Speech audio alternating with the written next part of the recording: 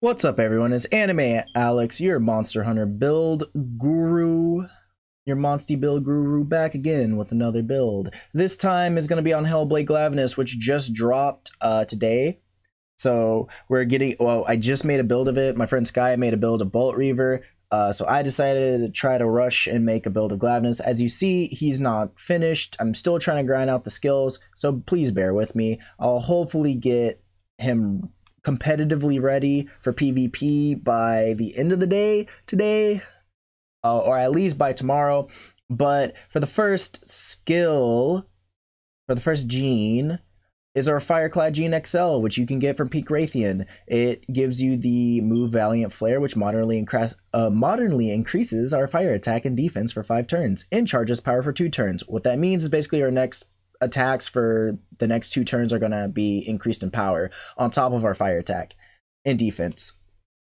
It basically is our the best buffing move for fire monsties in the game. So have fun using that. It's just going to make Hellblade incredibly strong and bulky, which combos nicely with this build. Uh, for the next skill, or gene is our Onslaught Gene XL, which is Hellblade, which is one of Hellblade's innate abilities. It deals heavy fire damage to one enemy with fairly high chance for a critical hit. This is going to be your bread and butter move that you are going to be spamming and just trying to pick off one person and try to crit them to death. This does tick damage and every single tick can crit. It's crazy. I've seen I've seen this do damage and just delete people. Next up on our list are the Fire Fluid Splash, which deals medium fire damage to all enemies, medium chance to inflict burn for three turns. We do get this from Ash Kecha Wacha. It comes at 24 kinship cost. Our Onslaught Gene comes at 29 kinship cost, and our Valiant Flare comes out at 19 kinship cost, by the way. But this uh, is our tech attack option that is multi that we use to attack multiple, multiple uh, monsties and riders. Really good for 2v2s and really good for 1v1s and just uh, a lot of PvE, like going through PvE dens when there's multiple monsties. What we're going to do with this is, since it has a medium chance to burn, we pair this up with Inflict Element Gene, which we need one more. Uh, inflict rate up, but the inflict rate up XL increases abnormal status inflict rate by a good amount. So by this, do by having this, we can put everything on fire. Then, well, while everything is on fire, we pair this up with Fire Plus Gene XL, which is a mandatory uh, skill, which basically makes it to where we boost our fire attack by a serious amount. Uh, by we boost this by a serious amount, and also uh, if you're watching this on Twitch uh, before this goes on YouTube, be sure to follow my Twitch uh, so you can actually see me stream. And hopefully you'll watch this video when it actually comes out later today.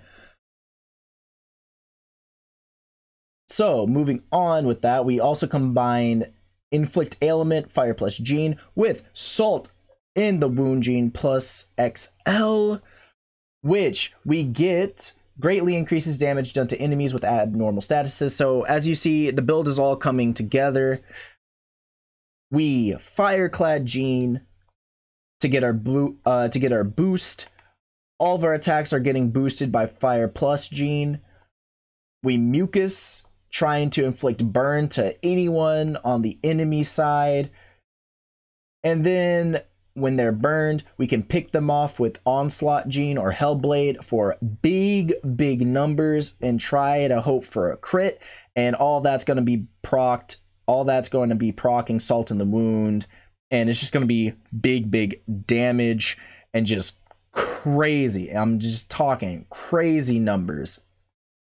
Uh, but that it doesn't end there. It doesn't stop there. We also have heroics gene XL. So a little sprinkle on top if they actually hit us below 50%.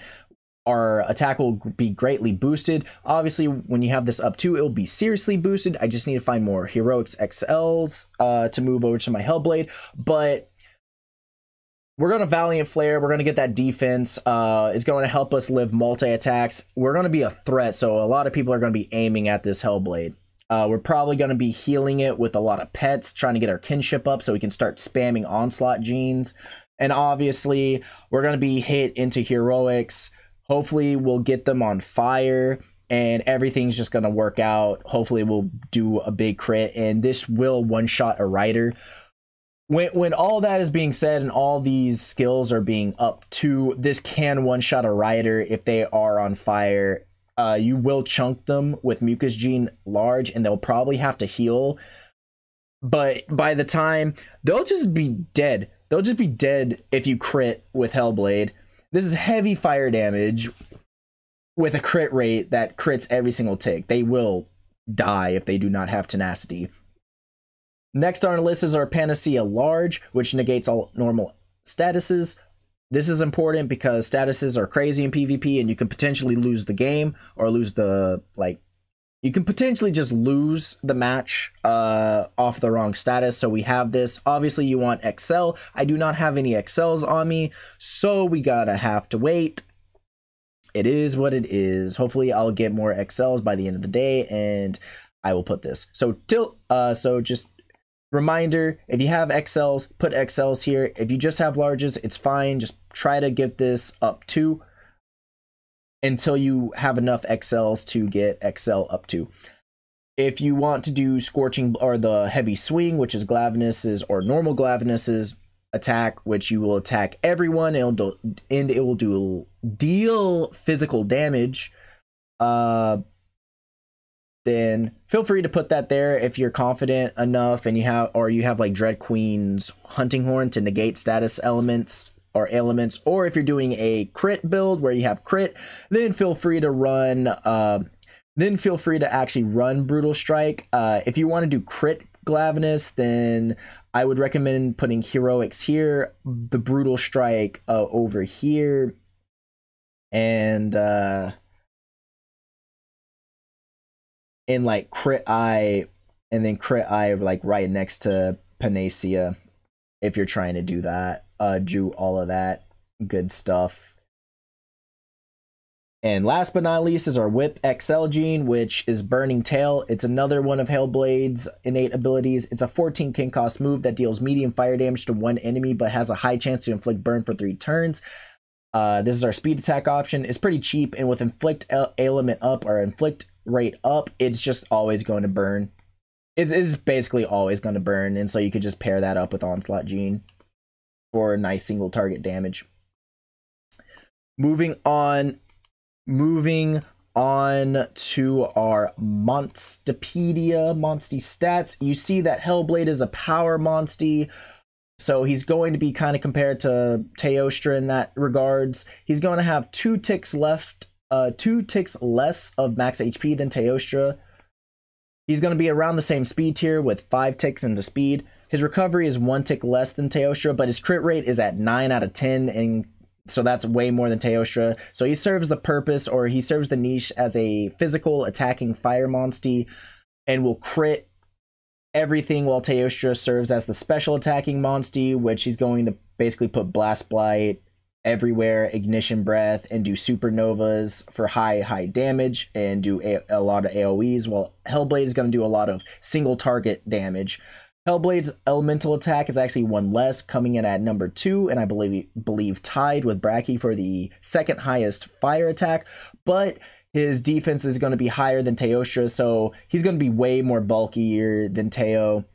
So honestly, they could be on the same par. Maybe Teo is going to be a little bit better. Who knows? Uh, honestly, with the metagame, I've always said Teo's basically an S tier monster, one of the best monsters in the game. Hellblade is kind of close to Teostra level. So uh so if anything Hellblade's A tier. Uh really good. If you haven't gotten Hellblade, get yourself a Hellblade now. Really fun to use. With all that being said, this video is going to go up later today. Hopefully you will enjoy it. Please leave a like, comment, and subscribe. Check out my other Monstie build videos and Monstie uh, Monster Hunter Stories 2 PvP videos. And with all that being said, catch you in the next one. Peace out, all my fellow weebs and weebettes.